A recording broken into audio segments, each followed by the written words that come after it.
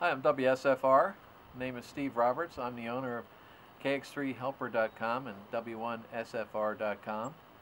And today I'm going to show you how to uh, put my antenna kit together, what you get with the kit, and how to deploy it. So you get the uh, antenna stake, you get the throwing line, you get the 9 to 1 unun, throwing line comes on a reel. You put it on the line winder. I'll show you how to wind that.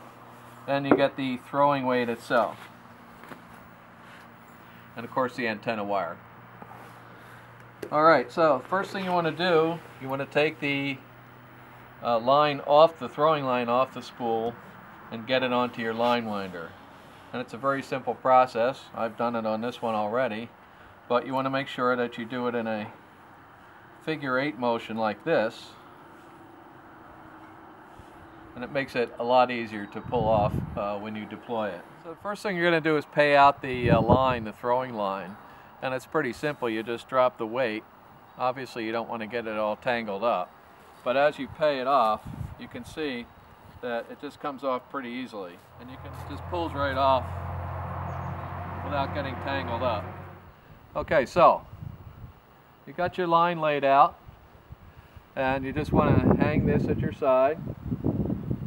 Get the line sort of on one side of you and you just want to swing it around and uh, get this, drop it down fairly close to the ground. And oh, by the way, you want to wear a glove or something on your, at least on your index finger, an old work glove or something, so when the line slides across your finger, doesn't give you a rope burn.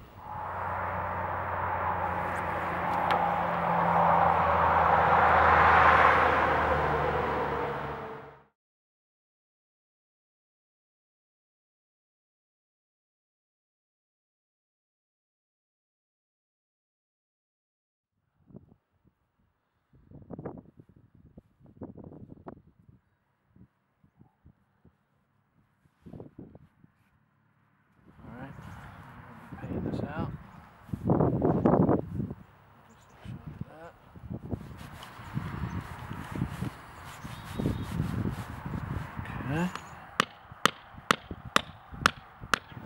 Okay. So you want to take some of your uh, some of your throwing line. Of course, you can use any kind of throwing line, and you want to tie it on to the end of the uh, unun here. Okay, so what I do is I tie that on the end there, run this through the stake, and then I run it around again around the uh, around this stud here, around the stud like so, and just provide some uh, uh, pressure relief on the uh, antenna wire. Just start pulling that up.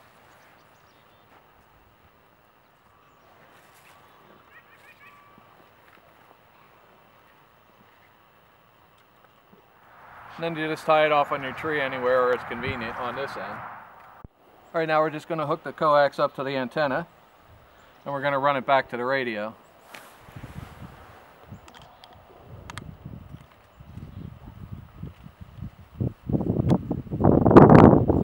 Okay, that's good. And you want to use uh, 25 feet of coax and ideally you want it to run on the ground because the coax is working as the counterpoise of the ground for the antenna.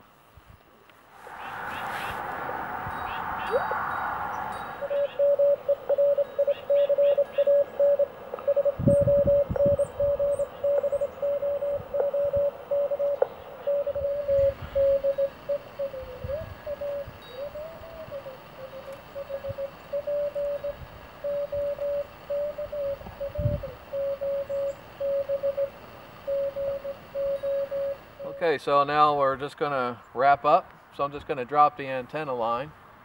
I'll go down to the other end and pull that down and just uh, wind the line back on the reel. Oops. That is if you don't want to drop it.